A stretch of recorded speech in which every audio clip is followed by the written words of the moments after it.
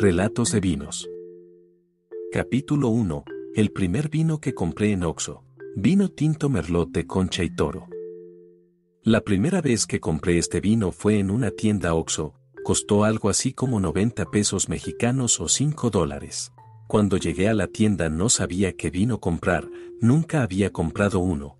La señorita del Oxo me ofreció una serie de marcas y uvas, y cuando dijo Merlot, respondí, ese, el Merlot. Tenía pocas referencias de este vino y de cualquier otra variedad de uva, así que daba igual. Debo decir que este vino es joven, suave, amable, fácil de tomar, digno de apreciar y fácil de tratar.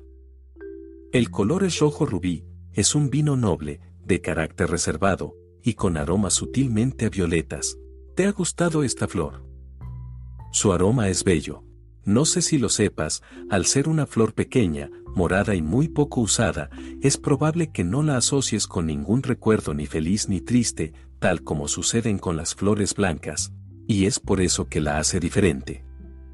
En la historia, esta flor se llega a asociar con Napoleón, y es que una vez dijo, volveré a Francia cuando florezcan las violetas, y así sucedió.